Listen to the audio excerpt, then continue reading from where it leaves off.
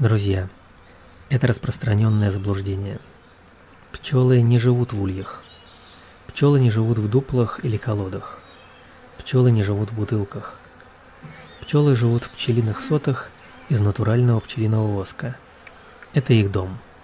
Если не найдут дополнительного укрытия, пчелы просто построят его под веткой дерева.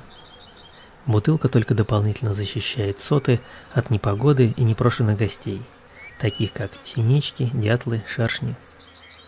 Это первое короткое пояснение к основному видео про бесконтактное бутылочное пчеловодство.